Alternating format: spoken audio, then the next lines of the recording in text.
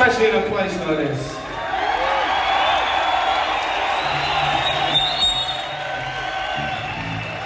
We uh, tend these days, being the uh, superstar motherfucking toe rags that we are, end up playing in great big shitholes. And uh, it's lovely to be here. Just